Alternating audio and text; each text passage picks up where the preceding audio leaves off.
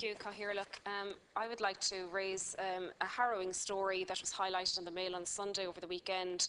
Um, I think it was missed out on due to the election frenzy, and it, it relates to um, mass grave in Tuam, County Galway. This is well known by locals in the area, uh, where remains of approximately 80, 800 children, citizens of Ireland, um, were buried. Many of these children were born outside wedlock. They were thrown lifeless into a pit with a sack to cover them.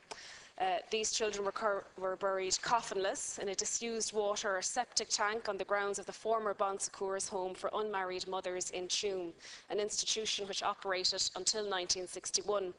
These children were often no more than babies.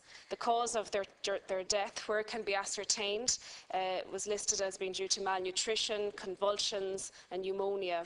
The mortality rate of these children is estimated to be akin to those of the 17th century.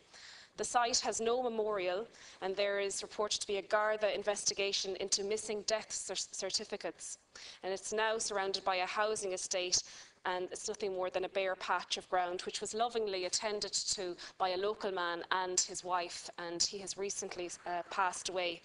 The local community in Tuam are endeavouring to raise funds for the erection of a monument, and I would ask the leader to raise the matter with the relevant minister so that, at the very least, the state might provide an acknowledgement of these citizens, these 800 babies, their existence.